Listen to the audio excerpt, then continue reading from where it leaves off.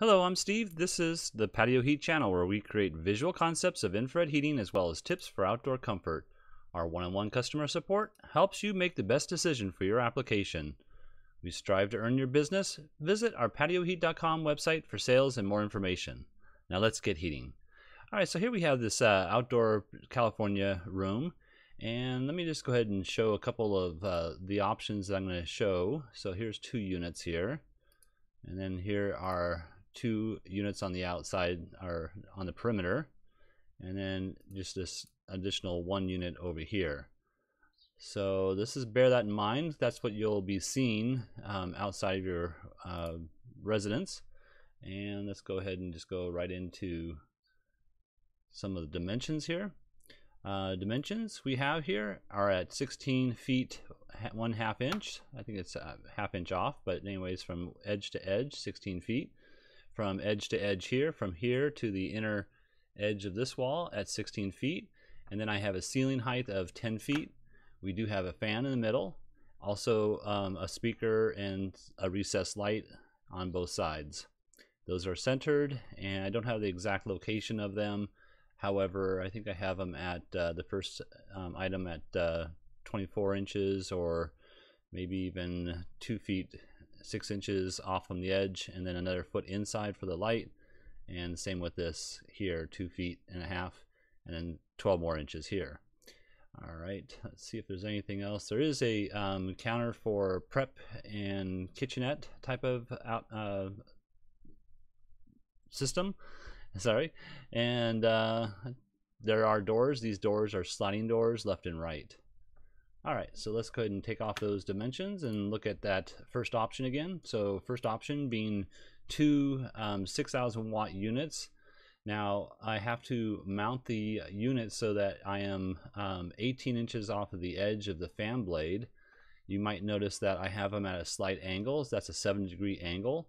And so what I did here was um, with that seven degree angle, I came from this edge and move the heater out 19 inches. It requires 18 inches. However, with this uh, slight angle, the clearances do change slightly. So you can see here, here's my clearances and I am not touching the fan with the uh, clearance, nor am I um, penetrating the back wall here with the clearance as well. Mounting it from the ceiling on a 6,000 watt unit, it only requires 6 inches of clearance and um, let's see if there's anything else here. I believe that's about it. Let's go ahead and look at the footprint of heat. This is actually my um, favorite uh, of the three, and that's because of the fact that we are able to um, heat up the whole entire space. This is infrared heating, so you're not physically able to see the infrared light waves, but um, for demonstration purposes, I have this orange glowing uh, element here so that you can actually see where the footprint of heat is and you can see that we are getting a very good coverage throughout this whole seating area. All right, so let's go ahead and turn that one off and turn on option two, which would be on the outer edge. Now, because of the seating uh, position here, this would work out okay. Um, and let's just go ahead and, well, let me just talk about what I did here as well. So these are centered within this, the room span itself. And then um, when you mount it on a, a, vertical surface like this, you are required um, to have uh, 12 inches of clearance and then the 30 degree maximum tilt angle. So from straight down 30 degrees. Um, that is why you need the extra uh, clearance. Let's go ahead and look at those clearances here. And you can see that um, we are meeting all the clearances that are required. Again, you can use the OEM bracket with a 30 degree tilt and the clearance back here isn't as crucial as it is when it is pointed straight to the ground like from the ceiling I had before. So those are the two units there and let's go ahead and look at the footprint of heat. Footprint of heat. You can see we have a decent coverage. I would say pretty more than decent. I think this would be adequate for this um, space. However, when you're prepping here, you're in a standing mode, so um, this might be a little bit hot, so you definitely want to either consider a duplex switch so you can switch the heaters on one element, two elements, or off, or use a control system where you can tone it down to whatever temperature between 100% and 1% as you see fit. And There's no issues with regards to the fans. Also, I didn't mount them up here based on the fact that we have the speaker and light fixture up there. So that is option two.